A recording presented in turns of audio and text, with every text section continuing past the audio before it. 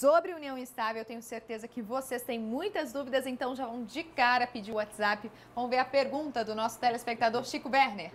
Vivo em união estável há 21 anos, porém nunca fiz registro nenhum em cartório sobre a minha união estável. O que devo fazer para fazer legalmente esses 21 anos em união estável? É possível? É, você pode fazer um contrato reconhecendo retroativamente esses 21 anos ou você pode converter essa união estável em casamento. Ah, aqui também é, é, possível. É possível fazer. Então tá certo. Próxima pergunta, vamos lá, WhatsApp. Gislaine, moro com meu marido há dois anos, mas não somos casados. Gostaria de saber se um de, nós, se um de nós falecer, o outro consegue receber pensão de falecimento. É, esse é um problema de não ter um, a, a um coisa contrato, né? oficializada, né? porque o INSS aí vai, vai exigir que você faça uma ação de reconhecimento dessa união estável judicialmente.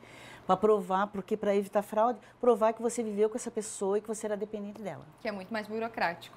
Próxima pergunta, vamos lá? Juliano, se eu tiver união estável e depois quiser casar no civil, tem algum problema? Qual a diferença? É o que a gente comentou agora há pouco, né? É, a única diferença é que você vai escolher o regime, se é comunhão parcial, total ou separação total de bens. Tu pode, ah, no casamento, reconhecer esse período que você já viveu em união estável, a esse regime de né, retroage e, e dá mais uma segurança jurídica para ambas as partes. Hum. Nas questões patrimoniais, nas questões previdenciárias, eu acho bem bacana fazer. Então tá certo. Próxima pergunta, vamos lá.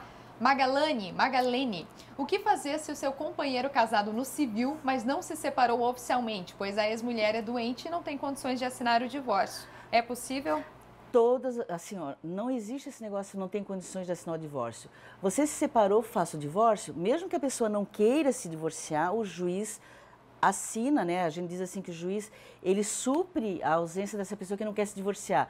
Eu recomendo que ele entre com ação de divórcio, sim, e depois case-se com ela, ou então faça um contrato para estabelecer bem o, a data que eles começaram a viver juntos, porque isso vai dar problema no futuro, principalmente com a partilha de bens e com pensão por morte. Mas assim, estando casado, ainda assim é possível entrar com união estável? Sim, porque ele está oficialmente casado, mas na prática ele tem um casamento desfeito e uma união estável. Então a gente só tem que estabelecer o lapso de quando é que houve essa ruptura para que ela também tenha direitos, no caso do óbito desse companheiro dela, ela também recebeu o benefício de pensão por morte.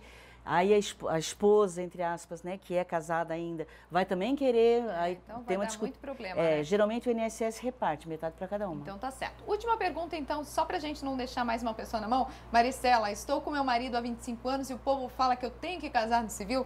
Senão, não terei direito nenhum, é verdade? Não, é mentira. Você tem direito, sim, 25 anos, nossa, é só comprovar esse lapso.